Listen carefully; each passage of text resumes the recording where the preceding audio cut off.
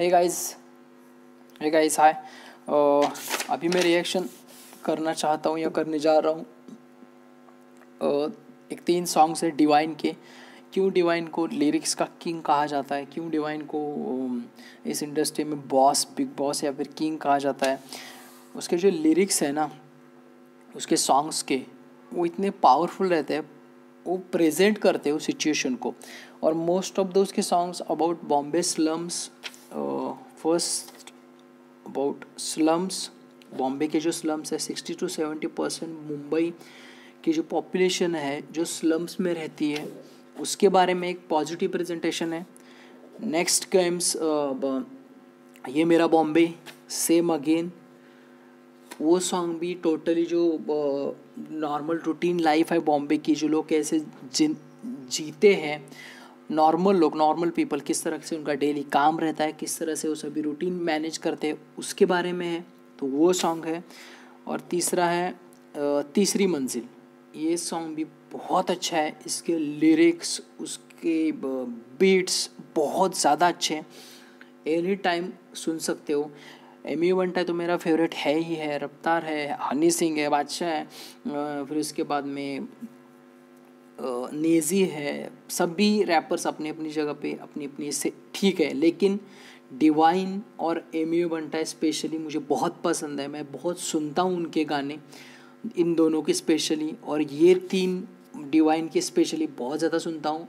और M you बंटा के तो ऑलमोस्ट सभी सुनता हूँ। उसके फ़नी रहते हैं, ऐसा मज़ाक भी आता है, सब कुछ रहता है। लेकिन ये तीन गाने डिवाइन के टॉप लेवल पे है तो उनके ऊपर मैं रिएक्शन करूँगा। और उसके जो लिरिक्स है जितने हो सके मुझे समझ में आए उतने मैं आपको एक्सप्लेन करने करूँगा। सो डू एन्जॉय दो songs do enjoy music and salute Divine for presenting Bombay का जो स्लम है बॉम्बे का जो ब, क्या बोल सकते हो उसको? जो लोकल से लोग जैसे ट्रैवल करते हैं जिस तरह से इडली सुबह सुबह बनाया जाता है जिस तरह से लोग गली से जाते आते हैं वो सभी चीज़ों को उसके सैल्यूट है। इसीलिए रणबीर सिंह ने उसके ऊपर ये गली बॉयज़ करके अभी जो मूवी बन रहा है ना, उसके और नेजी के ऊपर, उसमें एम यू बनटा भी बहुत जगह पे है वीडियोज़ में हम देख सकते हैं। तो ऐसे रियल आर्टिस्ट के ऊपर मूवी बन रहा है, इसलिए गली बॉय को भी सल्यूट है। और डिवाइन के बारे में और क्या बोलना चाहता हूँ? हाँ।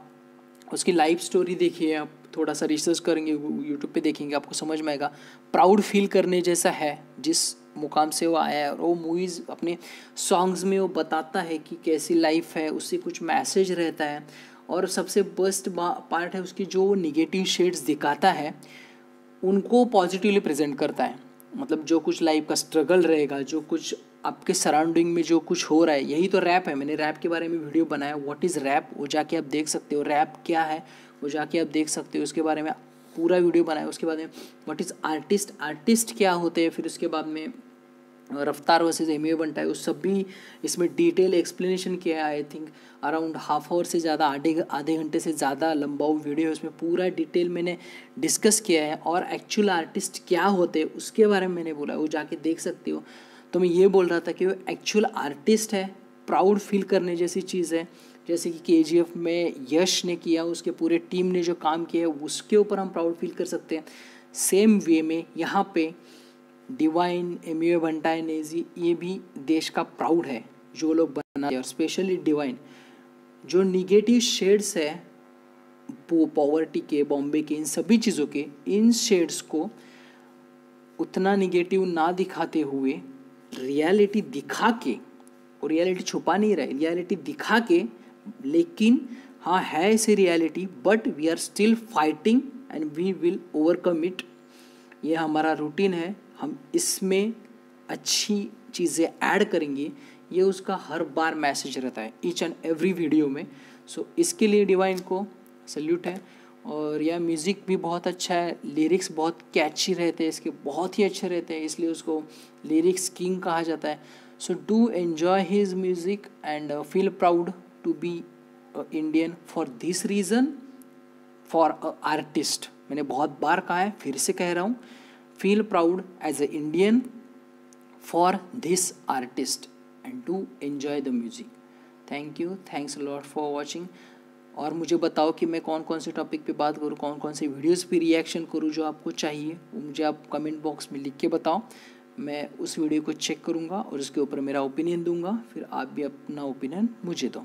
Thank you guys thanks lot for watching and enjoy the music enjoy the rap Indian rap real Bombay Mumbai rap thank you thanks lot मैं बॉम्बे में रहा हूँ अच्छा खासा three four five six years अच्छा खासा एक्सपीरियंस है मुझे इस सिटी का। इस लोकल का इस लम का, इस सभी चीज़ों का बहुत अच्छा एक्सपीरियंस है। सो मैं उसको फील कर सकता हूँ। आप भी फील करने का ट्राई करो। It's a part of India and या let me know thank you guys thanks a lot for watching